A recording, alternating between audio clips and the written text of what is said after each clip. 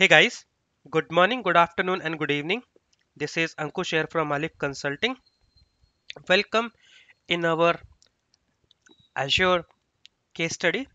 In this case study, we will be going to talk about how customer have leveraged Terraform and Azure to scale their gaming platform. Well, here is the agenda of uh, this case study. So we're gonna understand about the customer, what is the success story for them, how they have run their containerization or containers on the AKS, how they have adopted the other uh, cloud services, how they are using the open source uh, for their uh, workloads, how they're managing their source controls, how they're using the HashiCorp tools for DevOps, how the solution design look like, and how they have successfully launched their application. Right. So let's quickly jump into the int introduction and understand about the customer. So in 2018, customer run its core uh, platform on-premise and on the co-location uh, facilities. To achieve the scalability uh, needed for the company of its latest game customer customer moved its core platform uh, to the azure kubernetes and the azure sql using the kafka for messaging HashiCorp uh, Terraform for deployment and GitHub for the source control source control. Since then, customers have adopted several additional Azure services, open source solutions, and HashiCorp tools, giving the company a scalable DevOps environment that is benefiting both company both the company central, uh, centralized, centralized backend services team and its portfolio of the gaming studio. So uh, customer have moved all the applications uh, to the AKS. Uh, they also migrated the data store needed to support uh, those applications to the Azure. Azure SQL Managed Instance provided a simply a simple migration path from the older databases while using the Azure SQL Database Hyperscale tier. Give the customer uh, the scalability needed to handle the massive data load that a company will, will eventually generate. Uh, initial uh, Gen 2 efforts also mark the company adoption of the uh, Azure Container Registry, which store the container image before they get deployed into the Azure Kubernetes services. With Kubernetes services is beyond anything customer could have could have achieved before and the way it's automated automates everything for us like having a free ops team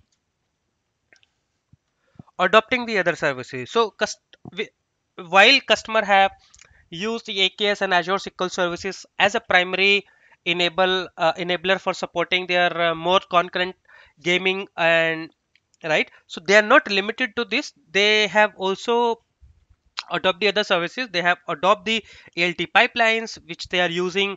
They used uh, to long running python script that run on the games uh, game server infrastructure for data collection right? They're using the other python script that run on the scheduled jobs uh, would that uh, periodically collect the data and transform it and load it into the data warehouse right? So these kind of problem where they which, which they are uh, they're basically solving by using the uh, using the Azure cloud services right?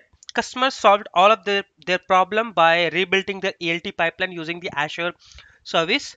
Today the game server send the HTTP message contain the uh, containing the file content to the Azure function they store the data into the Azure blob storage the function also send the event to the event hub upon which another Azure function load the information into the data warehouse. So this is how they're they're not limiting with the Kubernetes or databases. They're using the other cloud native services to basically uh, build the further solution or using the other solution.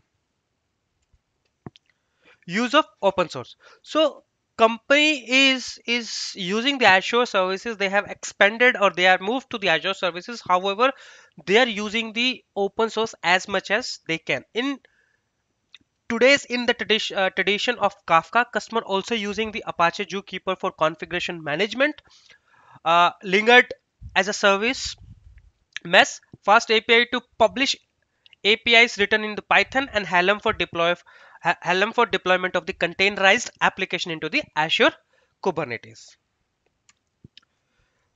Historically, customer use the Perforce for all of its source control needed as to do most leading uh, game studio. However, since the company moved into the Azure, the backend service team have moved almost its code to the GitHub. The backend service team also use the GitHub for things like change request, change request for the other part of the business. Customer using it for pull request and the other uh, coordination task. The Helm chart uh, from our uh, Kubernetes environment also stored into the GitHub, which we use, which customer use for the automated ci process for each of their environment, and they run many environment for each game, so that a lot to manage into that area. Bringing ability to stay hands off via automation has been a huge win for the customer. So it's not like that they just have moved the source code here. So they have moved the backend configuration. They have moved the Helm configuration to the GitHub also. HashiCorp tools for the DevOps. So alongside of using the Azure open source or uh, GitHub tool, GitHub customer is also using the uh, the HashiCorp tool tool, which is a fourth major pillar of their company Gen 2 architecture.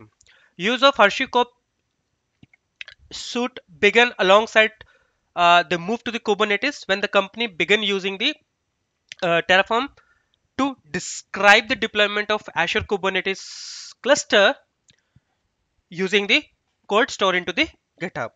Uh, Terraform lets customer codify what they want into a text file and then create the infrastructure from them. In a fully documented and repeatable manner with Terraform, they can uh, deploy Kubernetes cluster anytime or any other resources when they need and it was and it's set up correctly. Terraform is also provisioning the new infrastructure faster and easier. New ELT pipeline develop, uh, de uh, developed is a good example. Customer is also adopting the HashiCorp Packer, which enables the creation of identical machine image for multiple platform for from a single source configuration.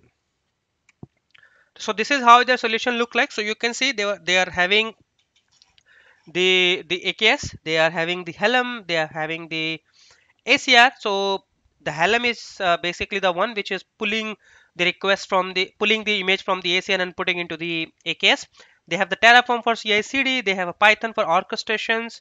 They are using the Consul uh, here, uh, which is a, one of the HashiCorp tool, and they're using the Vault to store their credentials. So this is how they are running uh, their solution into the Azure for their gaming platform. Customer have released uh, the game into October 2020 across the Windows, Xbox, and PlayStation 4. And uh, Nintendo switch platform uh, with the Xbox Series XS, X and XS series following into the November 2020 20 and for the PlayStation they have released this in uh, March 2020 21 and the game come out from the beta into May 2020 22 the company Gen 2 architecture based on the Azure GitHub open source and the HashiCorp suite uh, uh, helps pave the way of for the success of the company delivering the scalable need to support 50 15 uh, millions players within the first two months followed by the millions more since then. With more with the devops environment customer now has in a place developer across the company are also more agile able to deliver new functionality faster and with the fewer distraction. Customer is looking forward as customer continue to delight gamers with the new experience. Company plan to continue rely on the technology partners that help it to get where they are today. That's it. So uh, this customer specifically is releasing a new gen uh, 2 infrastructure so this new gen uh, 2 infrastructure is uh, something they have completely hosted on the Azure. So where they have used the combination of Azure services, Kubernetes, SQL databases, plus open source, plus, plus Terraform, DevOps, HashiCorp tools, right? So those kind of things they have combined in a solution which allows them to do the scaling the way they want to it the, the scaling which they require to run their application the, the scaling they require which require to run their million uh, to, to basically get a request uh, to fulfill the request of the millions of uh, gamers which they're getting in right? Well that's it in this case study. I hope you like this case study. If you like please click on like and subscribe for more upcoming case studies. And feel free to reach us if you have any questions thank you